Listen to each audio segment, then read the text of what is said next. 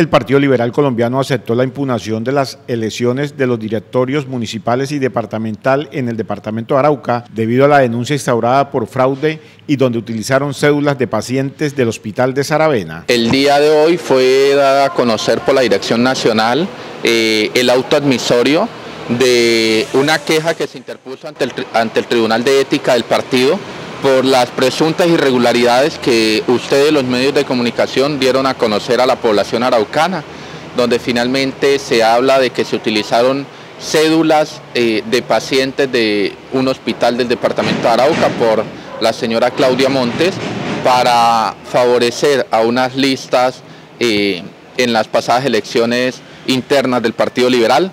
Finalmente se interpusieron algunas quejas eh, en la dirección nacional y, pues hoy el doctor Rodrigo Llano y Luz Estela Cuenza nos dan a conocer el auto admisorio que nos permite eh, estar un poco tranquilos porque ya va a iniciar el proceso de investigación y sanción de las personas implicadas en este eh, presunto fraude electoral. El diputado del Partido Liberal en Arauca, Juan Alfredo Cuenza, manifestó que el Tribunal de Ética del Partido Liberal dará un fallo en los próximos días. Bueno, yo creería que el Tribunal de Ética del partido es bastante rápido, eh, más porque la está impulsando es el veedor nacional del Partido Liberal, el doctor Rodrigo Llano Izaza.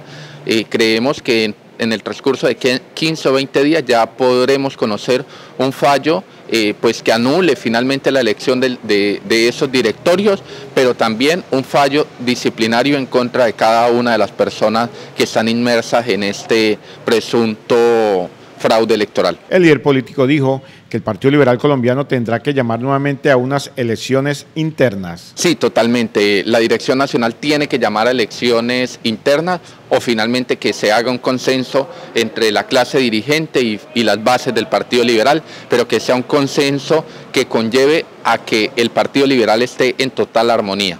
La señora Claudia Montes Mendoza renunció a la representación de mujeres ante el Partido Liberal Colombiano. Bueno, por conocimiento de la Dirección Nacional, ella renunció al hospital en el cual trabajaba.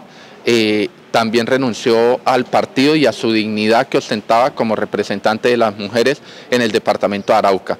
Eh, he tenido conocimiento por miembros de la Dirección Nacional que ella presentó su carta de renuncia irrevocable, pues esto demostraría más el grado de responsabilidad de lo que se está, de lo que ocurrió con, con este presunto fraude electoral.